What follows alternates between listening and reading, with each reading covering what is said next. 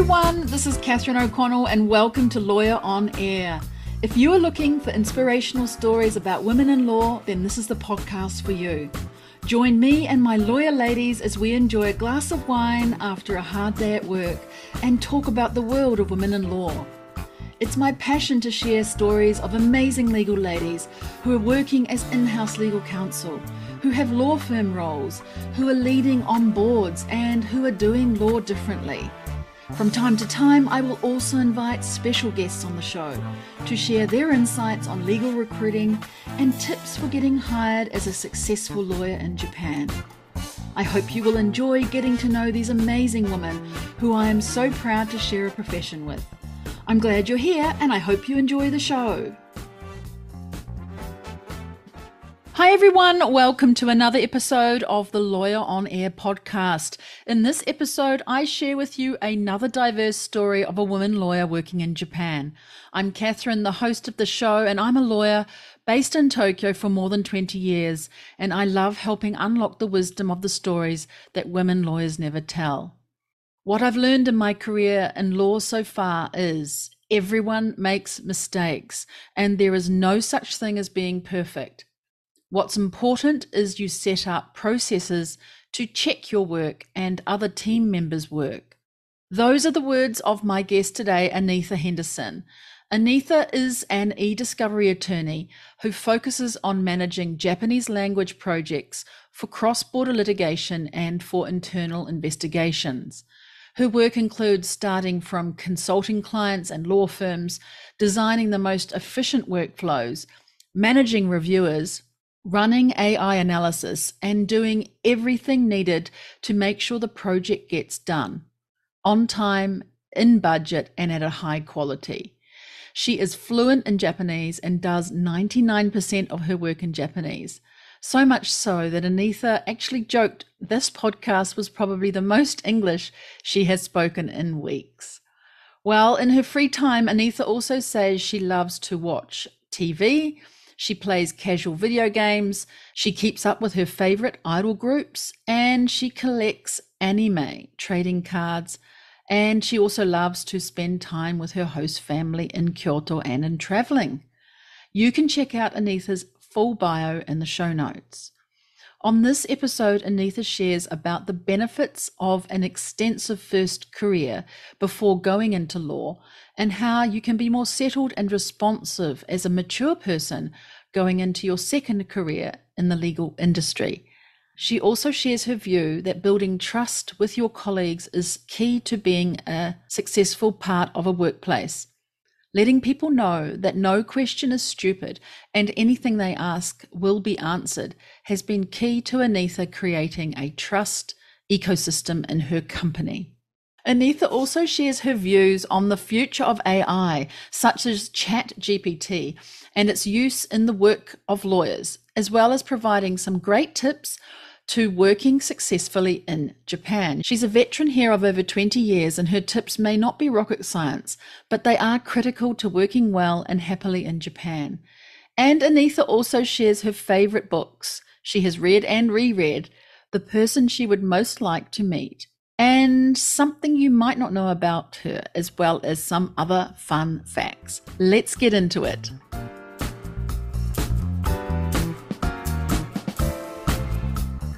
Hello, Anitha, and welcome to the show. Good morning, Catherine. How are you doing this morning?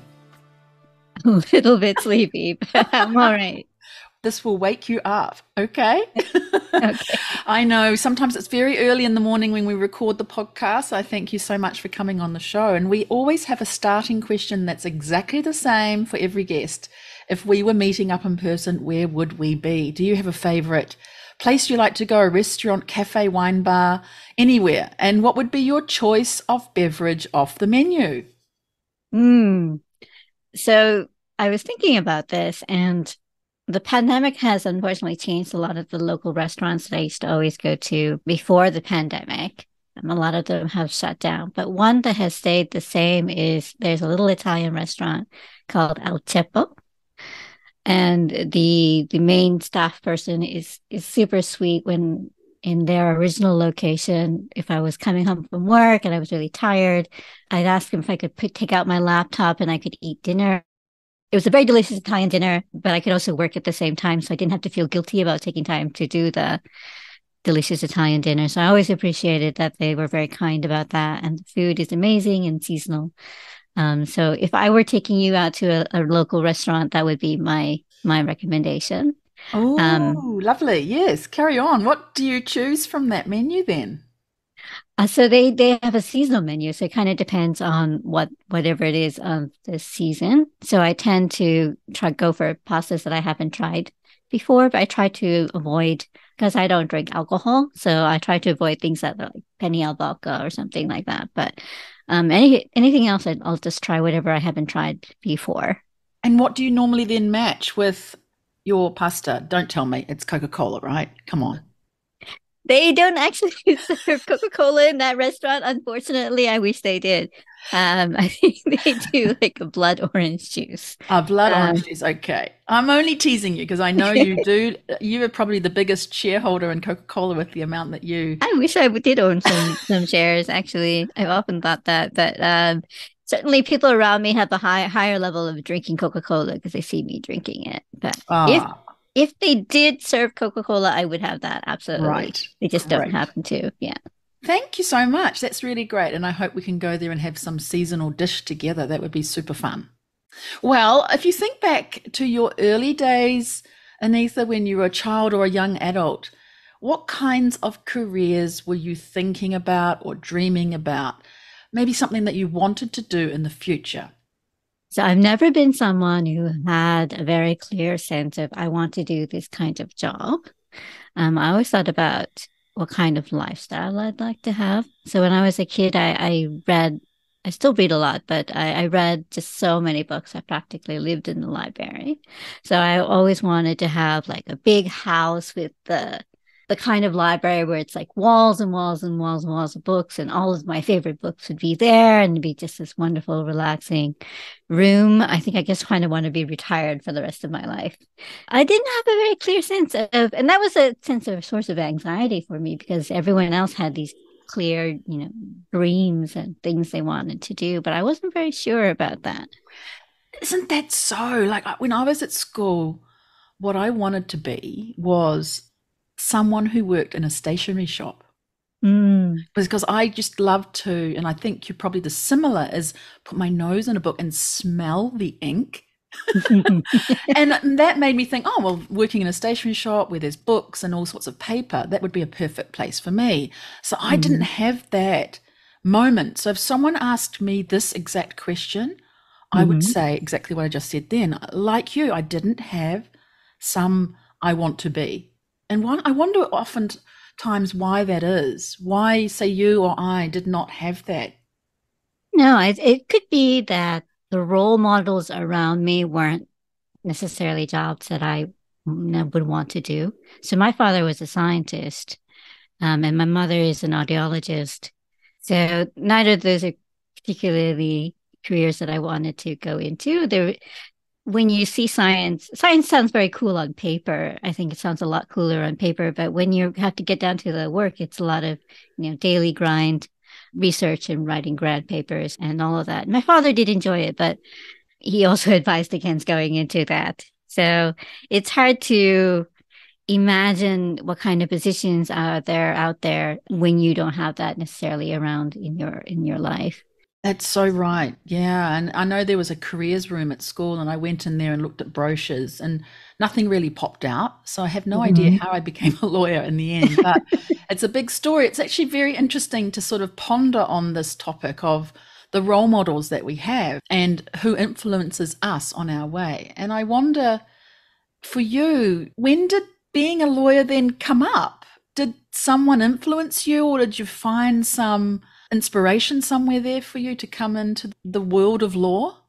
Even when I was in law school, my friend was like, Do you even want to be a lawyer? Um, I had no thoughts of being a lawyer even when I was in law school.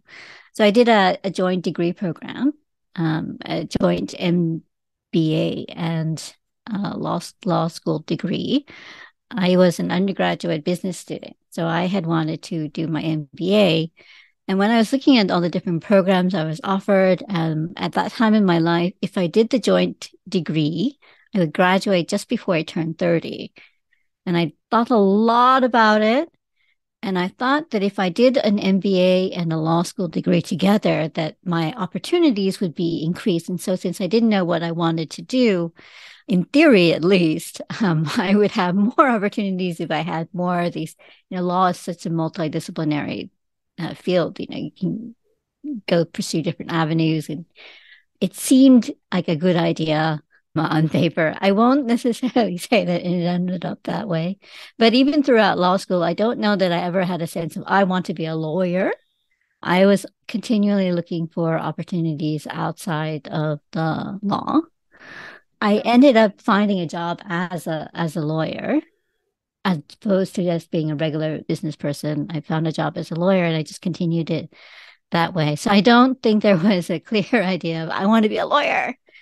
Right. Almost ever, actually. But you still did law, right? So it's not always the case that people who do law want mm-hmm. to be mm-hmm. a lawyer or think they could ever be one, but they somehow do law in a way like you've just explained that it keeps your options very wide open when you've combined it with something else as well so in the united states there's a lot of people who go through law school and um, they ultimately don't end up being lawyers for their entire career they tend to find something that really interests them that really um, it's their true passion and they go towards that so you definitely see a lot of people shifting off the lawyer path. In my case, I found this industry and I and I've I've stuck with it. Yes, sure. you have. And I know you're working in e-discovery right now, but mm-hmm. just before when you said you'd have a joint degree before 30, mm-hmm. I'm sure people who are listening will think, huh, that that means she was doing something before. Mm. And I mm. think that whole before bit for you is super interesting because you came to Japan early in your life, right? You were studying as a Monbusho scholarship recipient and also some other things there earlier on in your career. So let's come back to law a little in a little bit, but tell me about those founding days because that really got you on your path, I think, to being a real dedicated lover of Japan and working here. The Monbusho scholarship was something I was very grateful to receive, but that was quite late in my educational career. I was already um, past law school and, and pass the bar exam and all of that. So that was actually the last educational thing I did um, in Japan. So I started off in college. Um, I started studying Japanese. I Why started, did you do that? Why did you study Japanese? I'm a huge anime fan, as you know, and I started that in high school. Uh, is a big thing for me in high school. And when I got into college, I thought high school is so restrictive in, in, in what you can learn. Whereas my university was a big, giant public uh, state school. So you could study anything. And I thought, you know, I should take this opportunity to study anything that I want to study. And I still feel today that I really hate studying anything I don't want to study, especially when I'm paying the tuition. So I started studying Japanese uh, my freshman year of, uh, do you say freshman year? That's a very American thing, but I'm used to it now. Don't worry, I've become more global. So I understand freshman, but does that actually mean first year? That does mean your first year. You're yes, fresh, yes. right? You're fresh. You're fresh. Right. Yes. Okay. But your junior year is your third year. So that's kind of. Um, oh, is that right? I didn't know yes. that. Junior year is your third year. What's your second year? Sophomore year. A oh, sophomore. That's that sophomore thing. Got it. Mm-hmm. Okay. Mm-hmm. Carry on. I just wanted to make sure because I know that you're not from the same. Exactly. Yes, I love um, American way of describing your education. I All right. I realize how unusual it is to to describe it that way because I think Canadians also do not do it. Yeah, it's an it's a really American thing to call yourself a freshman and then to be a junior in your third year. That's mm-hmm. an interesting thing. And I'm mm. also interested that fresh man has stayed and nothing's changed oh, and modified no. over the years. So anyway, we digress, but thank you for that education. All right. Very important uh, American linguistics there. Um, yeah, so I started studying my freshman year. My second year, my sophomore year, I studied abroad at Kansai Gaidai University, which is out in Osaka Prefecture. And after I I just fell in love with Japanese. Um, and I still I love communicating in Japanese. I love I just thought this is something I want to do my entire life. Not that every time that you you feel that way, it ends up being true, but it's 20 plus years later and I still love it very much. So I just had that very strong feeling. So when I graduated university, I just knew I wanted to come back to Japan. And I feel it's quite common for people who have studied Japanese, but I went on the JET program, which is a government sponsored program to find English teachers. And if you can speak Japanese, you can work for the city halls or the local authorities um, and get employed at just sort of various local authorities all across the country. I worked for an international association in Kitakyushu for two years. And my job was to develop programs for the I think if a school wanted a program on globalization, for example, they would send us a request. I design a program based on what they need, and I'd go and, and lecture there for like half an hour or an hour. A lot of playing with kids, a lot of um, public speaking, which was very nerve wracking um, initially, but it was fun. And I love Kyushu um, as a result. And I definitely didn't feel that I wanted this experience to end. So after my two years, there's a sort of term limit of three years. So after my two years, I ended up being an English teacher for an GABA, which is a English conversation school here. And I worked in Osaka as an English teacher for two years, which was really, really, really fun. You learn so much about how to convey information in a way that someone else can understand easily in the small amount of time you have. And I find that's a skill that's been really helpful in my career later on. Um, because, you know, you had to break down these complex co- topics for people um, so that they can understand, even if they don't have a background in it. So I've definitely felt that that experience has just been so helpful in, in my in my life, and it was a huge amount of fun. So I had those four years of experience, of work experience before I went to law school which for my law school was a little bit unusual. Most of the students went into law school straight out of college. So I definitely had a very different perspective towards everything than my classmates. I think they were a little bit more um, you know how it's so competitive in law school. It's it's so you know who's going to get the first first grades, who's going to get this or or, or that, and of course that is very important. It's important to try your best and, and show show your work but I think I was a little bit more relaxed about it than, than my peers. I think just because I had a working perspective person, like I didn't have the same sense of this is live or die situation. I think I was a little bit more chill about those kind of things. Yeah, so I definitely I, definitely had that perspective when I got into law school and to my MBA. Well, MBA was a little bit different, but yes, you have really hit on a good point there of having a chance to work before you actually go into university. And I think I didn't really realize that that was a possibility in the States as well, but certainly it is in New Zealand where I was. And I had done work previously before coming into law school as well. And I think it just makes you more relaxed. Yes. Uh, and even though it's, you know, coming doing law is never a relaxing thing, but it's the maturity of yourself having been out in the world and what that brings to your study and your ability to concentrate perhaps as well and uh, devote yourself to your studies. It's a different thing to working totally, but there's something about having been out in the world that makes it a little bit easier to be mature towards your study. Yes. Like on the one hand, I was much more relaxed about this is not a live or die situation. But on the other hand, I had a little less patience for, for example, we, we had a study group and if you were not prepared for the study group, even though everyone else was prepared, that, that kind of irritated me a little bit. Um, you know, everyone else is bringing their, their A game. You should also bring your A game and not waste anybody else's valuable Oh, so true. So true, right? You've done it and um, others haven't. It really is frustrating because it lets down the class. And that just happens through life the whole time, right? You get into office meetings and people haven't prepared for it or you're getting mm. to a conference and people haven't prepared and you you have or others haven't and some have and some haven't and it's just a thing that happens through life i believe. I think i have as i've as i've gotten older have to let go of some of that irritation but i think i was quite intense about it in law school unfortunately for my study group. Well, I loved, yeah, I loved how you've just brought out a whole lot of things there with your career that you did before going into law. And what I really enjoyed hearing you say was how you were a teacher and it helped you to convey information to people in a way that they could understand easily.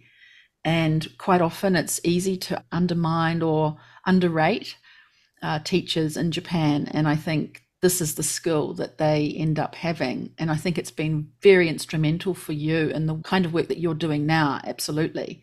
And I'm sure in your first years as a lawyer, and I know we're moving around your life here, and I hope people are catching up and staying in play with what we're saying. But what happened then? Let's go back to your first years as a as a lawyer. Um, mm-hmm. Um, you hadn't really thought about being a lawyer when you're at law school, but what were some of the things that happened there that were good? You know, highs and lows, things that didn't go so well, or challenges in those first few years. Did you grow to kind of like being a lawyer? E-discovery is a very unique field in the sense that there's a lot of it that is just project management as opposed to providing counsel for clients. So in that sense, there's some people who feel that it's not really being a lawyer. You don't necessarily have a sense of being a lawyer necessarily every single day because you're just handling um, whatever issues that come up that day. My first project when I graduated uh, law school started in the weekend immediately after I took the bar. So I wasn't even barred yet when I started it.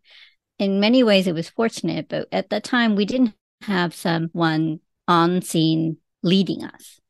We had to sort of figure it out ourselves. So we were on this new job, and there's 30 or 40 of us. Um, it's extremely complicated project with lots of complicated rules, and we have to sort of figure it out for ourselves. And I ended up quickly taking a, a leadership position, even though it was my first thing out of school. So we were working with both lawyers and non-lawyers who could also speak Japanese and English fluently. Just sort of managing that project, making sure that everyone has the same level of information and everyone is applying the information in the same way to the task at hand and making sure that everyone gets along very well. Um, there were some people who didn't like each other necessarily. And all of those things, I found I ended up using a lot of the skills I learned both from the law and also from the MBA side in managing that that project. So I felt that I grew a lot as a person in that first project because I had to think not of myself, but of my team. It's a very stressful thing to do, but I knew it would achieve the best kind of results. I was working in the United States, but I was working with a lot of uh, people of Japanese origin as well. So I knew that a more, more American approach would would not necessarily go over well. So I tried to be very humble about it and be like, "Hey, what do you think about this? I'd like to consult you about that." But what I really want them to do is just sort of fix whatever problem that they have caused, um, and try to be really, really respectful of everyone and, and and appreciative of everybody's skills. So I think that was a really good thing about that project, and that lasted for me um, half a year before I was a fortunate recipient of the Monbukagakusho Scholarship. And I studied at Keio Law School as a research student for a couple of years. Wow, it's amazing, isn't it? That I'm having a feeling of that less patience thing come up. You didn't have patience for everyone, maybe in that group of 30 who were all sort of wandering around, perhaps like sheep, and they needed a shepherd. And you were the one that came along and out of that patience or frustration, lack of patience and frustration, hmm. you were the one that stood up as a young, you know, not even barred officially, right? Taking the lead. That's incredible. So a lot of the Japanese people that we're working with is were older people. So they had lots of, you know, talent and brilliance and in, in their own fields, but maybe they couldn't use the computer as well as they wanted to or use the software as well as they wanted to. So sort of try to come at it from a place of I really respect this person and I want to mm. not be so irritated. I think being irritated at someone is not a doesn't lead to good things. I've never really found good things happening from me being irritated. Yeah, you can be irritated, feel it, and have the less patience, but you never bring that out. You use it in a different way, as you say, to respect mm. the other side and and not be irritated, and you know ask questions as you were doing, and respect that Japanese language and culture as you went along in your work. Yeah, definitely. Amazing. So then why did you decide to do a Keio scholarship, the Monbusho scholarship after having started doing law? Did you just have this urge to do more Japanese? well, I always wanted to go back to Japan. The Monbusho scholarship is a very prestigious I mean, it's a very big scholarship. They pay for all of the tuition and they pay for a little bit of a stipend as well. So I just applied for it on the hopes that I could get in. I did. I did. I had always loved um, Keio a lot, and I'm not sure if you you know him, but there used to be a professor called Professor Jared McAllen. Um, he was in Japan for a very very long time. I had studied at Temple University at their Japan campus for a semester during when I was in law school. And Professor McAllen was one of my professors, and he said he would sponsor me. And that ended up being a big plus on my application because I think they're concerned about students that don't have a position already um, in their their graduate schools. They're pretty interdisciplinary. So I studied law, but that was unusual. It's mostly a lot of STEM engineering students, people who are going to go into graduate level science, study of science. Um, I could have pursued it up to a PhD, I think. Wow. I ended up not doing that. Yeah, yeah, my professor, he was not, he he didn't quite understand that, but I hated being a student. Yeah, I hate not working. Yeah, so you wanted to work, but you also wanted to study and you wanted to do this prestigious scholarship, and you got there, right? And so, you know, often I think professors may not understand when we don't want to go as far as they have gone uh, and mm. further. But you, you know, stuck to what you wanted to do. And so, was that one year or a couple of years? It was two years as a research right. student. Right. And what happened after that? After that, I went back to working on projects. And then I really wanted to come back to Japan. And I went into a Japanese language school. So I enrolled with them for, I think, one year.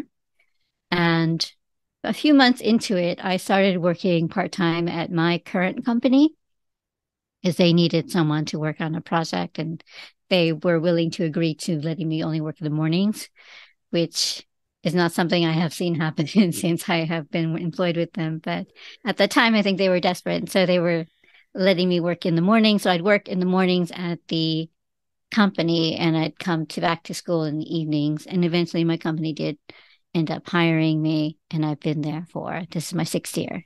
It's amazing, isn't it? I mean, how did you actually find that work though? Were you looking around for something and it came up? Or did someone introduce you to that work? Because it's a really interesting area of work and we're about to talk about it. But just how did you find it in the first place?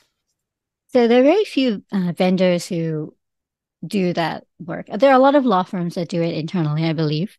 And this um, is e-discovery work, yes. E-discovery work, mm. yes. But as a vendor doing it, there are only about four companies that do it. So I actually you know sent in my application to all of those those different ones and they were the ones that responded the most positively. I think at that time my predecessor was looking for another job so that was just a timing thing. Also that they needed someone at the time i needed to be em- employed.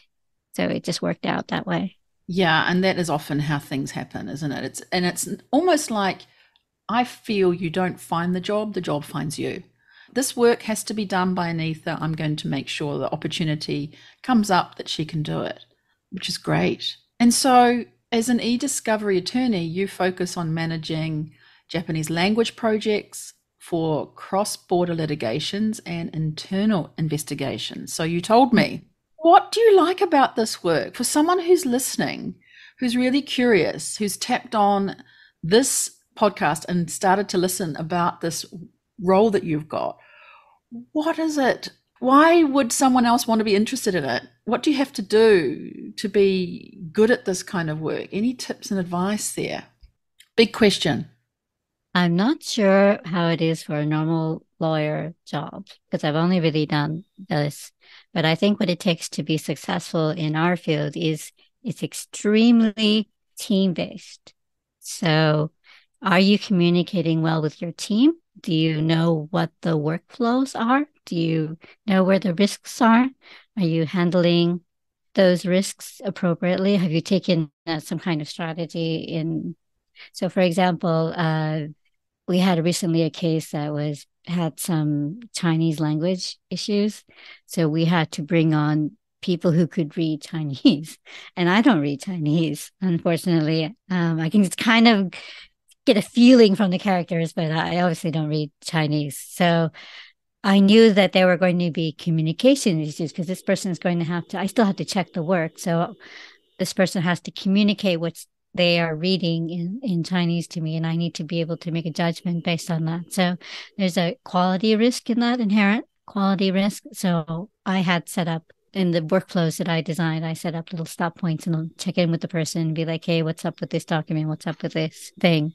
Um, so I think teamwork is huge in in e-discovery because it's so easy to to make mistakes um, so easy for those mistakes to not get caught by anybody else. So having a really good workflow, having checks and balances in place, communicating with your team, who are all, you know, most of them are not lawyers. I'm the only lawyer my in my company working on the vendor side. I understand what the client is doing and what the the law firm, that our client law firm is trying to do, but to our project managers or process engineers, you know, it's not necessarily very clear. They receive the instructions and they know how to do what they are instructed to do because they have that skill, but they don't necessarily understand the, the background uh, behind it. So I think for someone to be successful in our our field, communication is huge, teamwork is huge. Wanting to protect your team, I think, is is a big big thing. It's not just every man for themselves. Right. So I think yeah. those are very big. Yeah, those are very big. And it goes back to what you said before, too, with your workflows and aspects around that, that you have to be able to explain things very easily to both your clients and customers, but also mm. internally so that the team is behind you. Yeah, we find that so all of our clients are big clients. We're a Japanese vendor. So our clients are major Japanese corporations um, all across the, the country Although mostly in, in Tokyo, but we do have a lot of Osaka clients and some based in other places. So we find that they know that they have to do this this kind of project, this kind of investigation, but they don't necessarily understand. So in the US, there are a lot of international corporations that are sort of repeat clients. They really know the workflow. They really know what they want to do and how to do it effectively. But here it's still new and developing. So there are some amazing people who who really know their stuff uh, in Japan, but a lot of the clients it's it's new to them. So we have to take the position of being the expert and explain it so that they understand and they know why they have to spend all of this money on this this project and, and why it costs so much. Unfortunately, it does quite cost quite a little mm, bit. Yeah, and what what do you particularly like about this e-discovery work? I really like that it's project based. I mean, I think most lawyerly work is is project based in that sense, but you know, every day is different. I've been at my company for five years in one month, and but I I don't think that any any case has been. There's no case that's been easy. Even the little cases that you know are only a week or a few days, there's always something challenging about it. It's just different. There's always a challenge. Um, the pandemic brought a big challenge because we had to move. We went from on site to remote completely. And so, how do we prepare the computers? How do we provide the equipment? How do we even contact people or communicate with people? It's it's a big difference between communicating with them on site where I can scribble on a whiteboard. Uh, there's no whiteboard online. Figuring out how to deal with those communication issues. It's just always something new in every every case. And right. I find that really, yeah, really valuable. That pandemic would have thrown in a few challenges. Is there anything else outside of the pandemic that makes work challenging or things that have happened that you've overcome that you've thought, wow, I did that. I did a really good job on that? So, one thing that was surprising so, I had come into this from doing this kind of work in the United States and working with other Americans and people who were Americans, but they were of Japanese origin. And when I came to Japan and started working with people who grew up in Japan and had lived in Japan and and they were the now the review team, the people we hire on contract to work on each individual project. I found that this is a little bit of a cultural thing, but I found that they were very, very shy, extremely shy, and they didn't want to ask me questions but I needed them to ask me questions so I could confirm that their understanding of the rules and the way that they were uh, doing the work was correct. So I needed that communication to be open, but they were not going to come to me and ask me questions. They would just spend the whole day in almost silence and just not ask me anything unless they were really desperate and they really needed an answer to something. So I found working on that communication, making sure that they know that they can trust me. There's no question that is a stupid question, right? Right. That's what you're saying, but right? Yeah. No question is stupid. No question is a stupid question, but it's very hard for people to walk up to someone and open their mouth and say something that they not are not sure is a stupid question. You know, how will the other person think? How will my coworkers think about it? Um, I don't want to look bad. Let me just quietly do my work here. So making sure that they understood that there's no such thing as a stupid question, that I will take any question um, and, you know, respond to them respectfully and fully and in a way that they will understand. And so they can trust me enough to ask me the questions and opening up that communication was a lot of individual work um, on my part. So I would talk to each person in, individually, especially in the beginning. Um, I would go and sit next to them and be like, hey, do you have any questions? How was this? How was that? Um, just having little quiet conversations with each person and making sure that their each each of their concerns was dealt with so I came to think that really what everyone wants to do is a good job. And they know that if they are misunderstanding something, that leads to not such a great job. So my job is to make sure that they have the tools to do that. And part of that is making sure it's open communication. And if someone is really genuinely too embarrassed to sort of talk in front of the class, then I should take the time to talk to them individually and make sure that they have a space that they can feel comfortable in and ask questions. Right. So you don't dismiss them because they're not answering the question. You create a place where they can feel comfortable right. to do that. And I know? definitely feel that that has been a big difference in our company as well. So in before I came along, there wasn't that much communication between the manager and the the individual uh, contract and employees, but I have definitely set that up as a standard. And I think our, our review managers, as they come in now, they also follow the same same way. So we're much we have a much closer relationship with our with our reviewers, and I think is the standard in the industry. We really know them quite well. Really, that's really great. I guess this is going to be a related question, but I mm-hmm. ask most of my guests this question now. The most important thing I've learned from my career so far is. Can you finish that sentence for me? I think that everyone makes mistakes. There's no such thing as being perfect, but you do need to provide the clients with the best service that you can provide them. So you can't be perfect and you can't not make mistakes, but you can definitely set up sort of processes to check your work, to check other people's work, to provide feedback to other people, and just sort of have a reiterative process that at the end result that you provide to the client is pretty pretty high level high quality very few error kind of work. But the first cut is not going to be perfect. The second cut's not going to be perfect. Everyone's going to make mistakes. So having that kind of forgiveness for yourself and forgiveness for others because there's so many places where you can make mistakes in our in our job. So that was uh, something that my e-discovery professor when i was in university of florida they told us you know you can't be perfect there's just too much data. There's too much stuff. You cannot be perfect. And lawyers tend to be quite perfectionist. So being able to realize, hey, hey, everyone does make a mistake. No one's going to be perfect um, is definitely the most important advice that I've received in, in this career.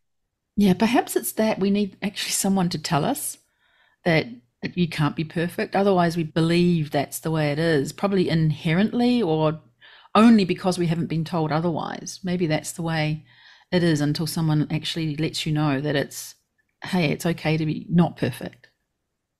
Hard to feel safe to be imperfect. It's hard mm. to feel that it's okay to be submit something that might have a little bit of an, an error.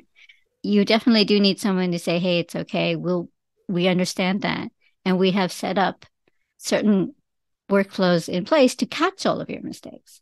So I always try to convey to my team, hey, we understand you might miss this, but I have set up this kind of check to capture all the things that you might miss. So don't worry about it. You know, do your best.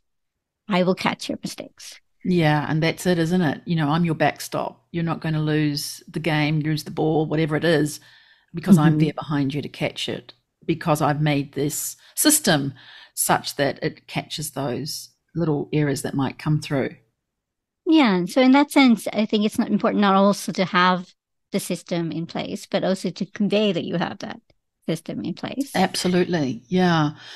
Wow, that's amazing. What would you then say has been perhaps in this last year your biggest lesson from the work that you've been doing? And maybe to younger lawyers who could be listening to this and thinking about e discovery as a career, and even aside from that, the biggest lesson you've learned in the last year, Anitha? You know, I, I've learned a lot talking to you and having you as someone in my my corner. Um, so to be honest, the, the biggest change in me over the last year has been meeting you. And the reason I say that is my work is quite isolated. I'm the only lawyer in my entire company that does this kind of work. I do a lot of education from our, our non legal colleagues or colleagues that don't have a legal background. Um, so I'm always working with non lawyers. And so it's very hard to imagine my job as a as a lawyer lawyer. Most of what I do is falls under project management.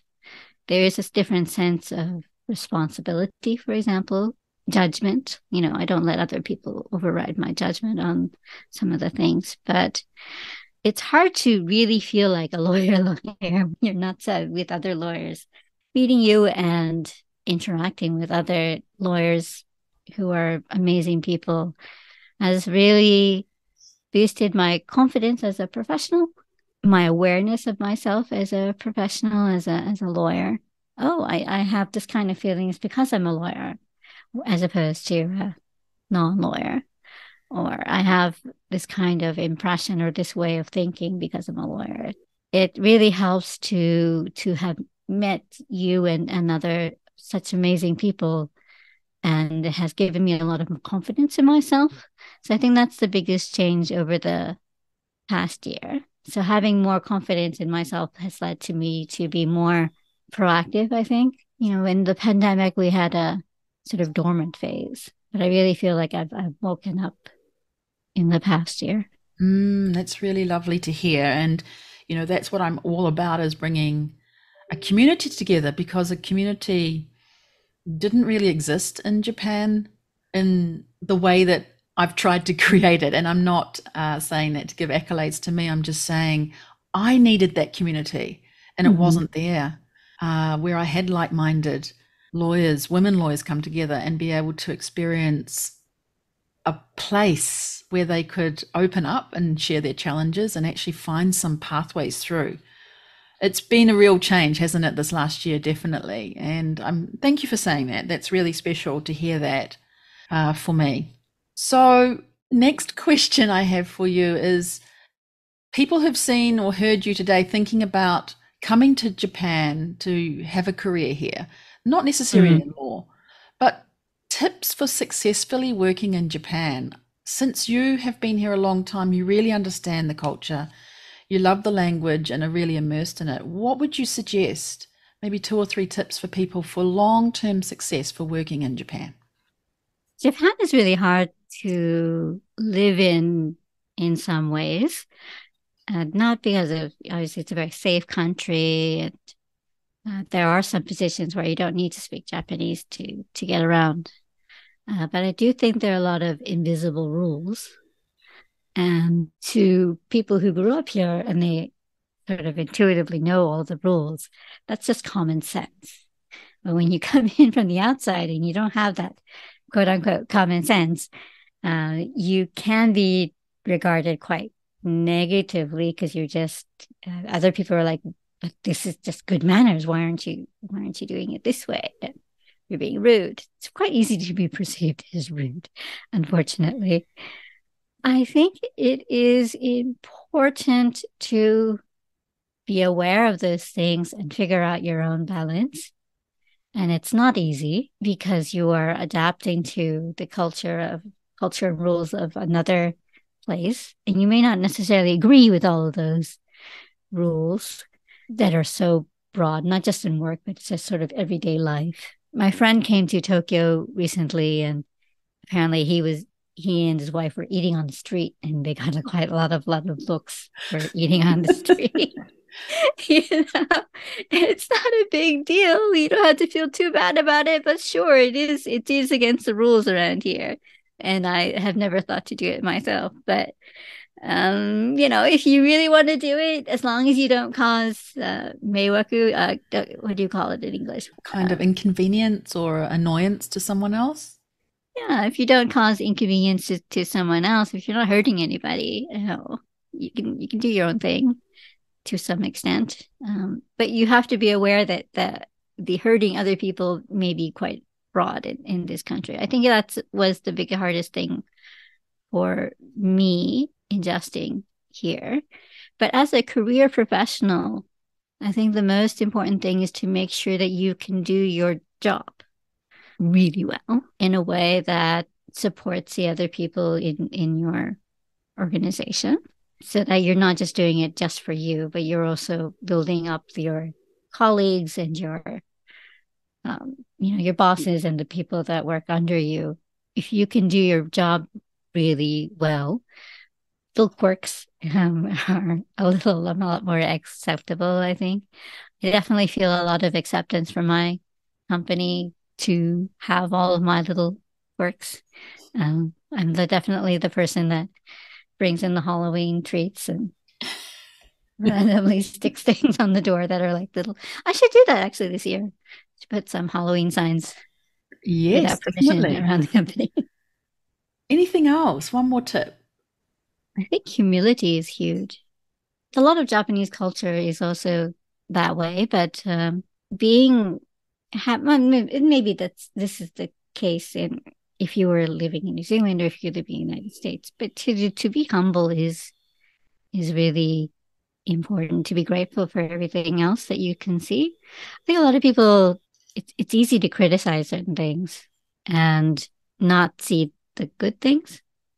But having a mindset of saying, "Oh, this is this positive thing," there is lots of valid thing, valid criticisms that you can make here, certainly, but there are also a lot of wonderful things. So I think if you're going to be here a long time, you have to make sure that the positives to you, that you're able to see the positives every single day, is important. You know, like it's clean, for example, the city is clean, but that's done through every morning there's a crew of people that are out cleaning the streets, right? The people that get up at like seven or eight in the morning and they're you know, cleaning out the, the front part of the building to make sure that their portion of the street is clean and neat and nice for everyone else to walk in. That's a lot of work by a lot of different people. So to be appreciative of that is, I think, a, a key here. It's it's just so easy to criticize and get into a negative mindset, but keeping mm-hmm. a positive attitude is is really important. So true. That I read something today as if you keep your own doorstep clean, the whole city will be clean. It was mm. interesting. And also, you're right. You know, there's no trash cans or garbage cans, rubbish bins, whatever you call them, around the city, like there might be in other other cities. Yet, Japan is clean. You don't see gomi, right? Rubbish out on the streets. People do clean that up. Maybe it's there overnight, but by the time you're up, someone's up before you and cleaned it up. Right. Pride in the city, a pride in uh, the way of your little space that you've got at least around where you are. So it's really remarkable that you've brought that out. It's made me think again. Mm. I think a lot of people come, and if they're only here for a few days, they have the impression that it's just people don't throw anything. Like it never gets dirty in the first place. Like it's just naturally that people in Tokyo are just naturally quite clean and they never toss their trash all over the place. But it's not the case that there's no trash ever anywhere. It's just that it's there's a huge group of people that every morning they're they're cleaning it out, right? And there's just a lot of effort on people's part to keep the city clean. on a daily basis so that as you walk around through the day, you don't have, don't see that. Um, Absolutely. Mm. And there'll be times I've walked off a bullet train, for example, and I've forgotten to put my bottle or my, you know, pieces that I've had from uh, having eaten on the train, and I haven't put them in the rubbish bin or in the garbage on the train. And I've walked for ages holding on to it to find the place that I can uh, dispose of it. You eventually find something, but that's another thing that happens is that people do not just throw it anywhere or leave it somewhere for someone else to clean up. They will take responsibility for it and dispose of it at the right place. Yeah, there's definitely a lot of, of manners associated with that. So when kids don't do it, then they get quite criticized quite happily. But yeah. there is a backup system. Uh, there's someone that's coming in on, on the Shinkansen to, to clean up all of those things. Exactly. Well. Right. Wow. That's that's some good cultural tips there and for anyone wanting to come in. What do you think then before we head into the, the end of our podcast episode today? Things coming around the corner or that you are seeing in, in law, maybe in your industry, your particular industry, you can see coming up in the next while? The biggest thing that is being discussed right now is uh, so obviously e-discovery is very technology based technology driven. Um, we also develop our own ai engine um, but ours is based on language modeling. So the biggest thing is chat gpt mm. which is called uh, generative ai the idea of you put in a prompt and it'll give you a kind of correct answer there are a lot of law firms in the United States, at least, and I think also in, I haven't seen any public announcements, but I do know that they are working on it in Japan as well. But sort of developing technologies that will help lawyers with their work to provide, you know, writing a memo is so intensive, right? It's so much work, but what you actually want to do is only a tenth of that, right? You you don't necessarily want to write each and every word. You just want to make sure that the content is correct. So a lot of developments in just legal technology in general is going they're testing it out now making sure that it's safe and that the training data is good training data and not you know just pulled randomly without any concern for privacy from the internet. There are a lot of people working in developing that but also in our space as well there's i think relativity is the biggest our platform for it. And they've announced recently a new generative ai based platform. So we'll see how that will impact um, how we do the work and what ways we will do the work. They are still in the process of just sort of testing it out and just trying out different things. You have to actually try it and see how that will actually will it actually make your life easier or make it more difficult? Um, we will see. At the moment, you know, just the chat GP that's on the internet that everyone can access, it makes a lot of mistakes. You know, there was a case recently of someone had submitted a pleading or something that was generated by AI, and it, the AI had generated fake citations. Mm they didn't check this. Well, they tried to check the citations, but they just assumed that they didn't have access to the the case law or whatever, as opposed to its fake case law. Um, and that was submitted to a court, and the court was astonished at how bad it was. So, making sure that that's correct. Uh, there are definitely technologies coming in place that will not do that. They will always have correct citations, and that will make a lot of legal work easier but it's still in the developing stage. So we'll see that maybe five years yeah. out. Interesting. It is astonishing what you've just said. Uh, kind of lazy to not check your citations. I think right? they, they and not they, not check the fake it's fake case law that's just incredible just not not realize that it was fake that yeah. yeah yeah that was that was astonishing but that is a thing people just you know they're overwhelmed with the amount of work that they have to do they want to make take shortcuts, I guess. Shortcuts, yeah.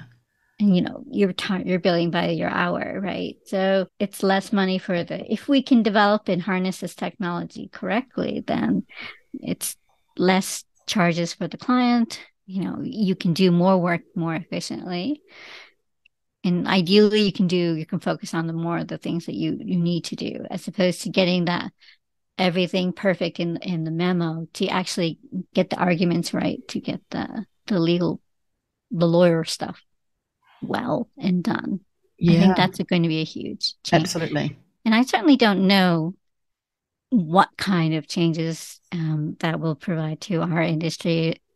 There's some people who are amazing at using the technology, and there's some people who just have no no idea about the technology. So I'm curious to see how it will turn out, but I definitely think it'll be a big game changer.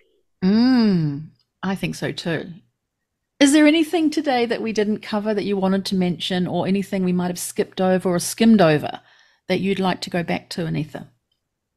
I just wanted to say hello to my study group because I love them very much. Um, was in law school.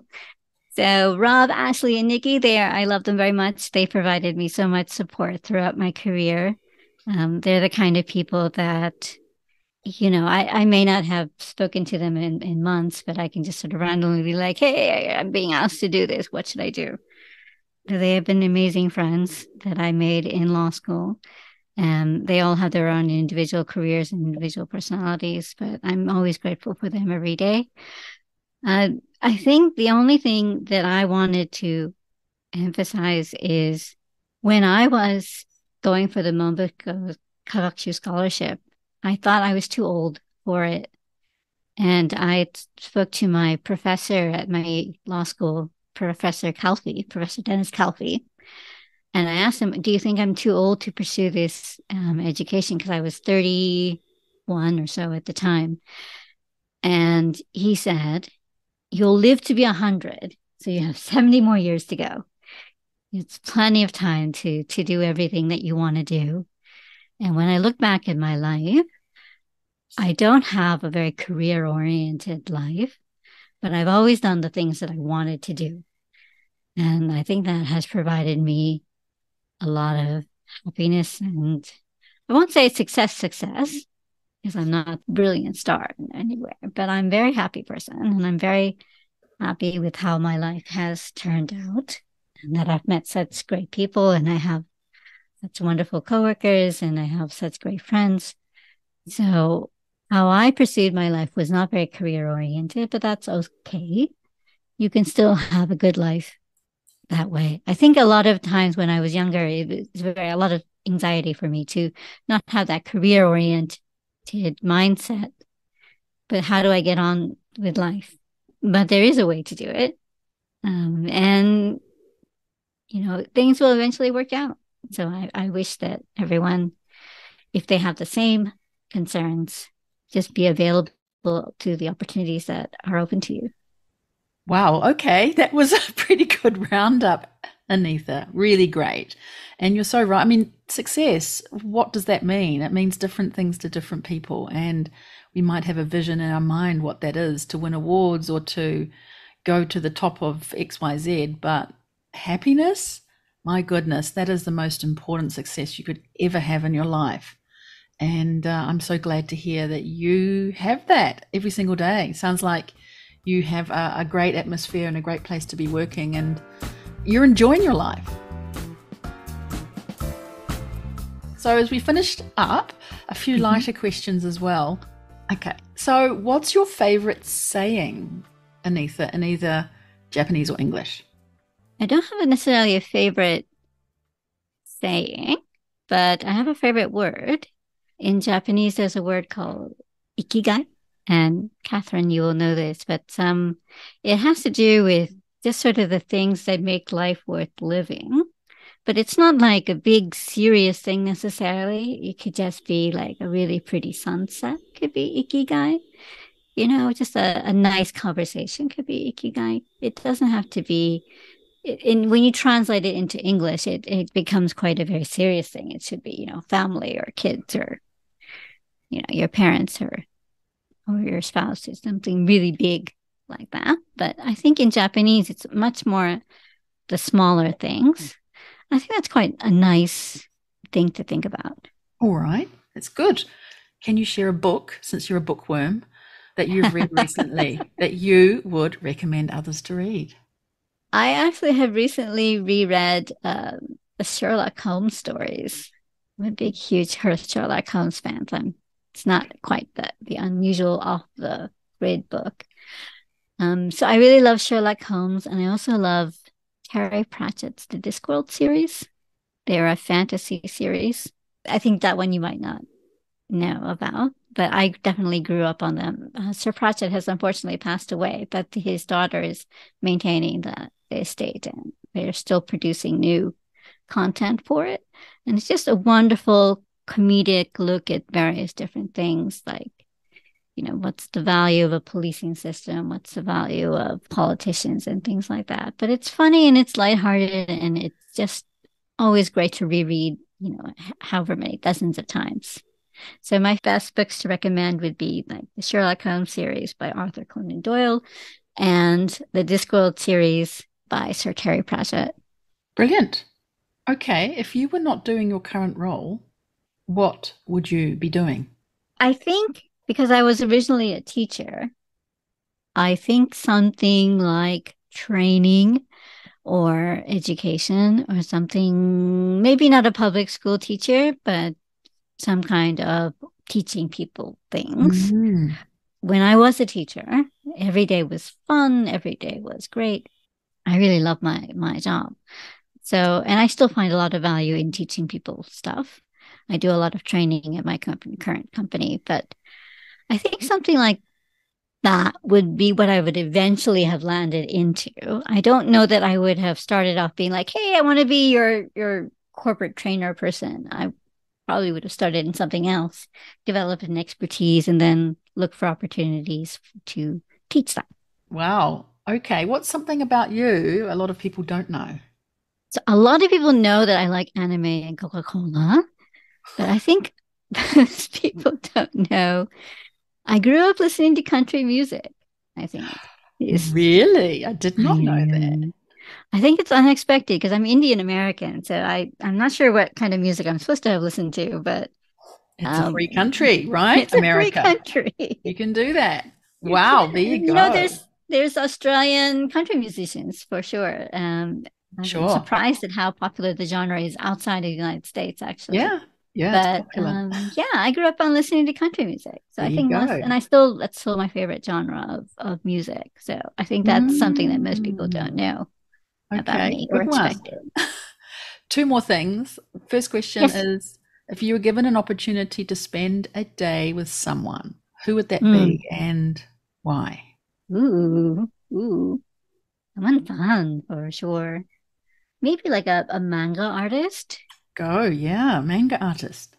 Yeah. I, I would love to be able to see the inside workings of something you know, like an animation studio or a or a, manga artist atelier atelier. How do you say that? atelier. I think that would be interesting to see to see how that person's job goes for for a whole day. I think it's quite difficult, but sort of I would rather you know silently watch on the sides, and I could do that without bothering them. Then that would be great. Awesome. And last question is: if you had a if I had a magic wand and I could give mm-hmm. you a talent, what would you most like to have? If I could play the piano. Ah, oh, right. I should have to ask for a superpower, I guess, instead. No, no. I've always wanted to learn how to play the piano. Well, yeah. there you go. And not that I'm, you know, too old or there's no opportunity to learn or anything like that, but I just have never managed to, to do it yet. Remember but, that question you asked when you were going for the Monbusho? The age thing. Yeah, no, no, I definitely mm. I'm not definitely not for uh, as a hobbyist um, as a hobby uh, you know not a professional pianist uh, then you know it's definitely not too late but i haven't pursued it yet. Could try. Well done. Okay those were very exciting. Thank you so much anitha. We've come to the end today. I thank you so much for being brave and coming on the Lawyer on Air podcast. It was a real pleasure to speak with you in this way, which is different to the other ways we engage, and I really enjoyed it. Thank you so much for having me, Catherine. For people who are interested in connecting with you and learning more about your discovery, anime, and any of the other things you've talked about, where what's a good way to do that? Would you like them to come to me first and send them on to you, or would you like to connect on uh, LinkedIn or anywhere? They can connect with me on, on LinkedIn for sure. That's fine. They don't have to go through you. Oh, good. Okay then. well, it's a, it's a, sometimes a cushion, right? But anyway, yeah, that is so yeah. fantastic. We'll put your LinkedIn uh, address in the show notes. And to anyone who has listened and really enjoyed this episode, leave a review on our website, leave a review on Apple or Spotify, whichever podcast player you're using, and just tell us. And we also really appreciate if you share the episode with someone else you think would be inspired to lead a lawyer extraordinaire life just like Anitha. Thank you so much to everyone. We'll see you on the next episode. Cheers, kampai, and bye for now. Thank you so much for listening today to this episode of Lawyer on Air. I really hope that you were inspired by the story you heard and that you discovered something new about women in the law. Please subscribe to the show so that you don't miss future episodes. And if you can think of even just one person to share this episode with, that would make my day. I invite you to connect with me to talk more. Jump on over to LinkedIn or Instagram where you can find me, or send me a message via my website contact page. That's all from me today. I look forward to seeing you right here on the next episode of Lawyer on Air. Cheers, kampai, and bye for now.